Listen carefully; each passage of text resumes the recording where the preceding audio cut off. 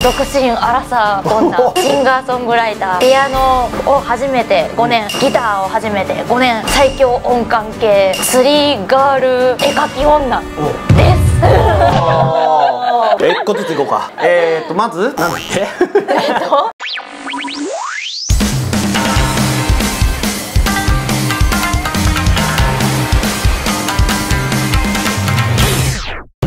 ました。四日市ローカルミュージックプログラムケイオス TV です。皆さんこんばんは。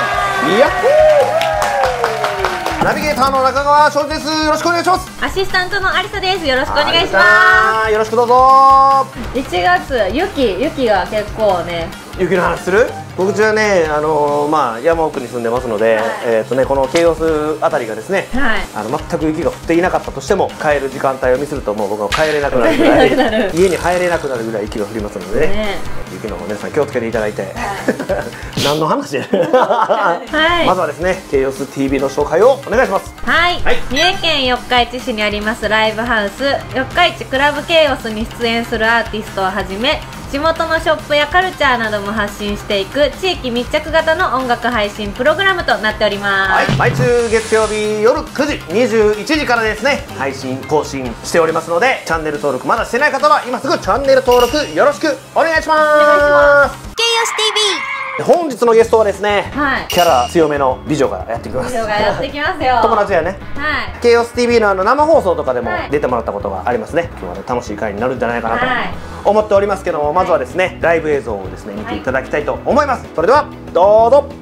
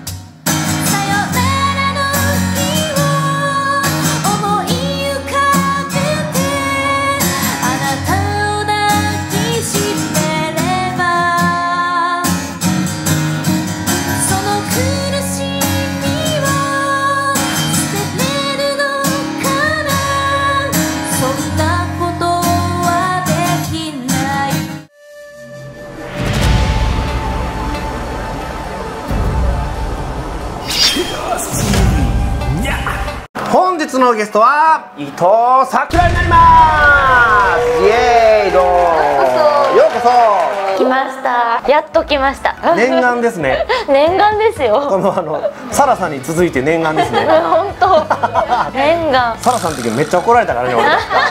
やっと呼んでくれためっちゃ怒られました。ね心待ちにしたでいつ？ってずっと聞いとそう噂ではあの聞こえててまたこれ怒られるのかなって僕はちょっと怒りはせん思ってたんですけども。忘れられとるあのね何度も言いますけどあの避けてたわけではない割とこう奥の手的なね秘密兵器あのサラさんも、えー伊藤さくらも秘密兵器。秘密兵兵器器ぐらいの感じでおりましたので、はい。い、いよいよ満を持して登場ということで。わはい。よろしくお願いします。お願いします。はい。じゃあですね、えーまずはですねプロフィールをお読みさせていただきたいと思います、はい。プロフィールが特にホームページとかあれですよね SNS とか載ってないですよねプロフィール。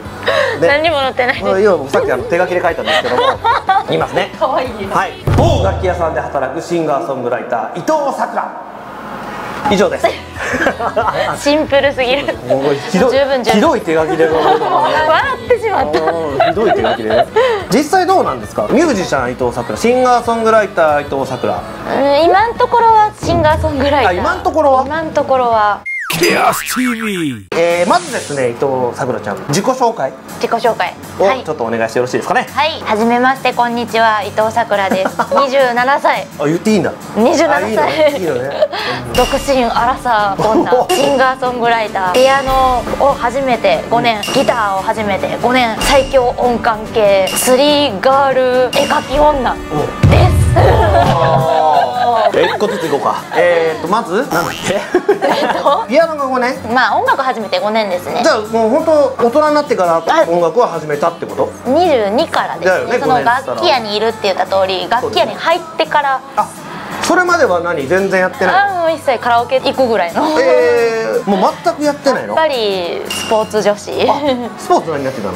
スポーツは走ったりしてたんですけどね、なんか大会で撮ったよね。大会。大会。一応その国体に出たことがあったりとすげえか 音楽とは無縁やったもんで。某楽器屋さんで勤めることがきっかけってこと、そうですね。なんで楽器屋さんにそんなこと聞いていいいやこれのかなわかもんないけど、これもね、言うとみんな「はあ?」って言うんですけど、うん。四日市のバーで働いてたんです。ちょっと特殊なバ特殊なバー。ー特殊なバー。アニメに関連するバーに在住してたんですね。楽しそうなところ楽しそうなところですね、ご存知の方はすぐ分かると思うんですけど、はそこでカラオケを歌うことができたんですね。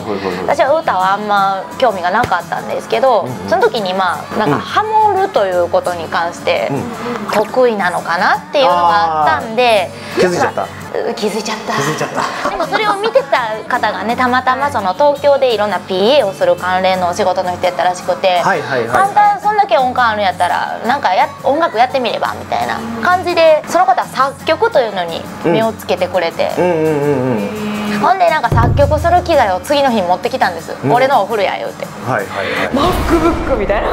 えー、すげえ。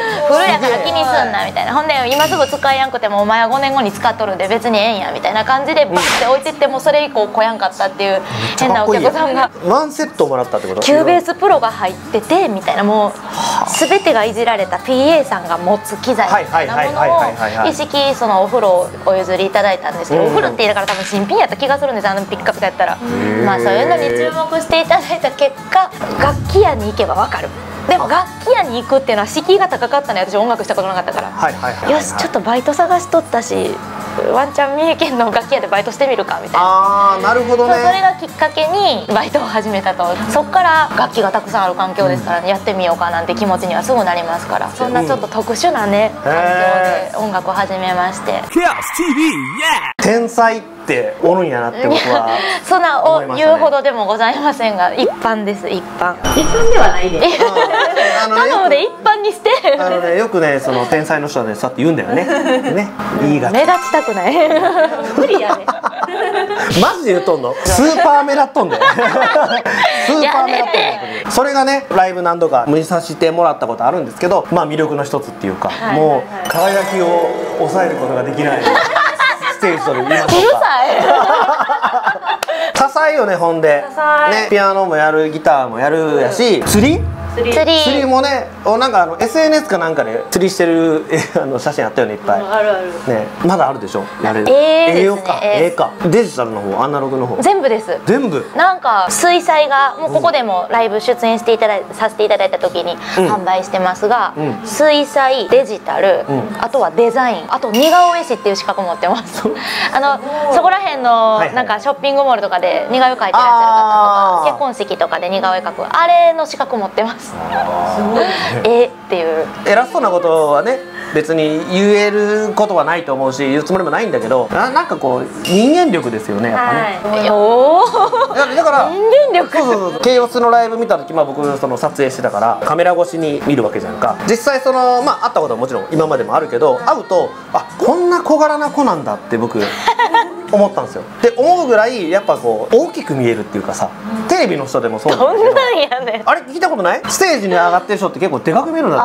すごい魅力がある人って。そのパターン。だあから今日もだから来た時にあちっちゃいなって。ちっちゃいですよ。こんな小柄だっけってちっちゃいです。あの思ったもん本当に。あとさあのユニットもやってましたはいやってました。いっぱいやってましたけどあ。直近ではバケツマスカルポーネ。まあ、すげえすげえ名前だよね、はい。ねバッケツ。特に意味はございませんあないの？思いついた言葉をいっぱい並べて、うん。職場で、うん鈴鹿丸ごと穴あきパンツかバッケツマスカルポーネのどっちかになって 二択で。あ半々やったんです意見が。いやねどっちもすごいね。目に見えた言葉をどんどん並べてったんです。鈴鹿丸ごとっていうのがあって、うん。で穴あきパンツっていうのがなんかそこら辺の書類にあったのかな？とどんな書類や？あったんやって。どんな書類や？ほんでバッケツっていうのはね最近流行りのアニメで出てきた言葉のうちの一つなんですけど、でうん。マスカルポーネっていうのは私が食べとったおやつになんかあだってね。ーライブの時もそうだったんだけど、曲のタイトル。タイトルがさはい。よくさやっぱりこう歌作る人とかさ日常的な言葉を使ったりもするんだけどなんかそれっぽいタイトルにするじゃん、はい。ね。ね。なんとかの日々とかさ、ななんとかの日々はあれだけど。そういうタイトル欲しいですね。でしょ？なんか特徴的じゃん。ね。なんだっけ？なんか言えるやつある？順番に言ってくと。うん「生き地獄」小文字のローマ字で「まさくん嫌いねん」バッケツは「ポコポコポコポコポン」それそれそれ。ライブの MC でさそれまあ饒舌に喋っててそのポコポコ。ポコポコ。ポコポコポコポコポコポコポコポをやるとやるって言ったわけじゃん、はいでどんな曲がふざけたタイトルやなと思うわけよ初見の僕としてはそしたらさ結構いい曲だったね嘘だろと思ってありがとうございますなんだろう緊張と緩和みたいなさ本当にそれがまあ魅力のうちの一つかなと思ったりもしましたね言葉のチョイスがすごいなと、うんはい以上ですはい Chaos TV. えー控えている、えーライブやリリース情報などありましたら教えてください。はい。まずライブははい。ここクラブケイオスさんで2月5日土曜日18時オープンで、えーアコースティックなんちゃらほんちゃらをさせていただきます。ね。えっと、はい。今回、はい。ブッキングを私が半分無理やりさせていただいたあそうなんだ。そうなんです。なんか、はいはいはい他にもいいアーティストさん見えたら教えてくださいみたいなことを言ってくださったんで、ボコボコ出したんです。ボコボコ。もうこれでもかっていうかボコボコ出したら全部採用してくれたっていう。伊藤さくら一押しのミュージシャンがそうですね、まあ、お友達パーティーみたいな状態になっておりますけれども楽しいやつね。はい、とても素敵なアーティストさん私がぜひ一緒にしたいなと思ってたアーティストさんを私も含めはい。7名。7名。はいおー盛りだくさせていただきはい盛りだくさんです。個性派の方アリさんも含め。うん、おあれさんも含め。2月5日土曜日はクラブケオスにと。はい。はい。形ですね。あのあれですね。配信もその日はありますので、会場来れないよっていう方はねぜひとも配信で楽しんでいただければなと思いますのでチェックの方お願いします。SNS ならインスタグラムでそうですね。ちょこちょこ載ってます。桜はのこのアーティスティックな一面をアーティスティックな。触れることができると、はい。ね。音楽以外の。ありがとうございます。しライブ会場に来たら、それをこう実際手に取って、でね、なんなら買うこともできちゃう。はい。そういうことですね。はい。したじゃあラ,、まあ、ライブ来たらもう二度楽しいってことですね。そうああれえそうーなるほどわかりました最新情報チェックできるのは？インスタグラムの写真は載ってますので。インスタをはまあとにかく見てもらった方がい。いかなと、ライブ情報とかもそっちの方が。いライブ情報は両方ともに載せるようにさせていただいてます。はい。お知らせしておきますので、はい。何かあればそちらをチェックという形ですね。はい。はい。Chaos TV. Yeah.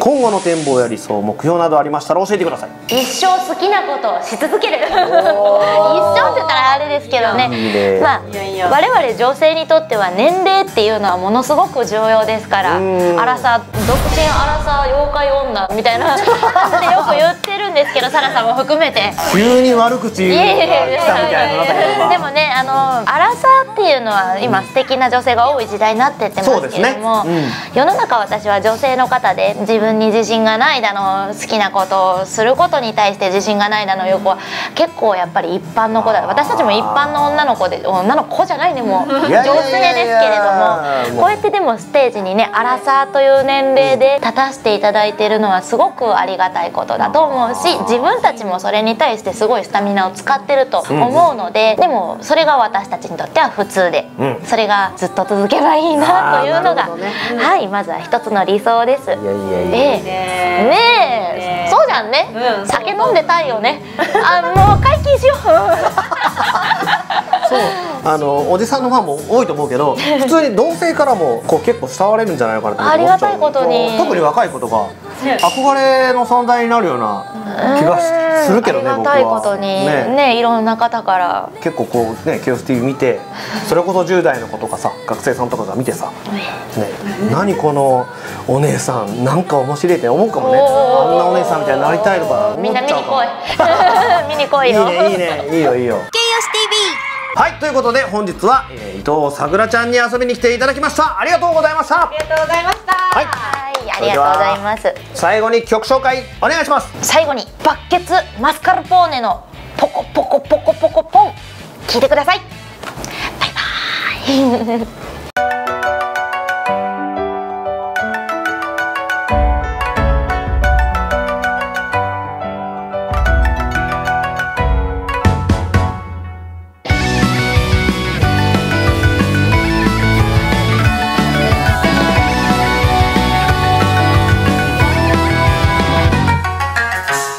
しく染まる道揺れる雨戸の灯る星我が恋はつれづれに花を咲き乱す春来ればまたぬ風祭りごとすら目もくれず我が夢はこうと今日も恋願うされど出会う迷い言葉に夢や夢や今宵の姿一人遊びもとうとうとる人を思う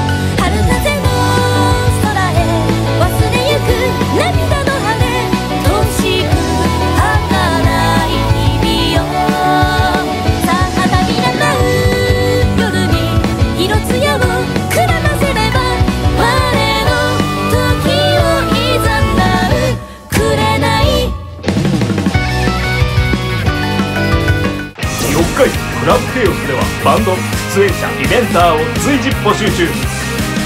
初心者社会人学生親父バンドコピーバンド何でも OK ジャンル演奏形態年齢問いません。出演者に合ったブッキングをいたします。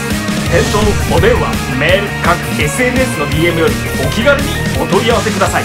OK みんなでロックしようぜ皆さんのご応募お待ちしてます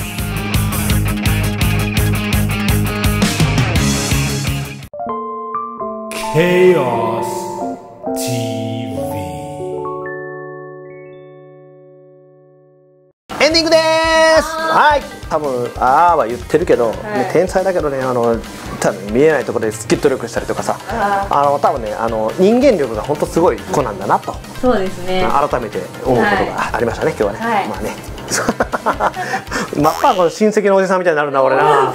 ダメだなこれ本当にもう。そんなですね伊藤さくらちゃんに対するですね応援メッセージクラブケイオス、えー、ケイオス TV アリスちゃん中川庄司応援メッセージなどですね、コメント欄にじゃんじゃんお願いします。お願いします、はい、そして今日の動画面白かったなと思っていただいた方はですね高評価ボタン、えー、グッド評価ですねぜっと、えーぜひともお願いします。お願いします。でチャンネル登録まだしてないよという方はですね今すぐ登録お願いしますねお願いします。はい終わりましょう。以上ケイオス TV でした。また来週お会いしましょう。と噛んだわ今。バイバイ。はい お会いしましょうって